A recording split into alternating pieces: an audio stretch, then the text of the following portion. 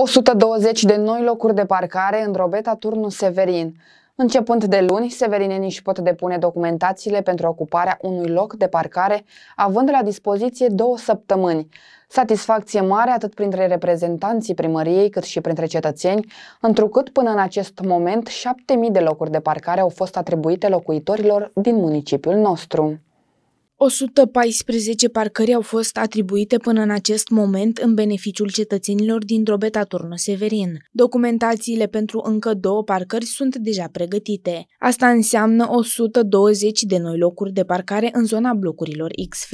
Pentru ocuparea acestora, cetățenii își pot depune de luni dosarele la Direcția de Patrimoniu. Sunt atribuite deja 114 parcări și acum mai avem pregătite documentațiile pentru încă două parcări.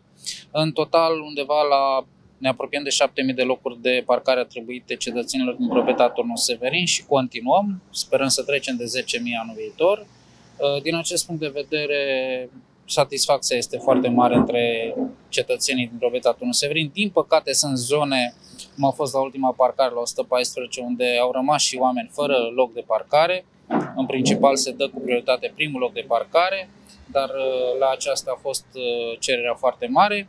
Acum avem uh, pregătite parcările 115-116, de, de luni se vor depune documentațiile timp de două săptămâni în, pe strada Cogălcean numărul 2 la Direcția de Patrimoniu. E vorba de 120 de locuri în zona XF-uri.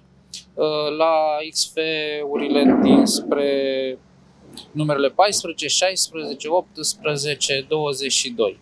Până în acest moment, 7.000 de locuri de parcare au fost atribuite severinenilor. Au fost construite de-a lungul timpului mai multe parcări în mai multe zone ale orașului, fiind un scop al primarului Marius Creciu de a construi parcări rezidențiale moderne, urmărind să contureze o nouă viziune de reașezare a peisajului urbanistic.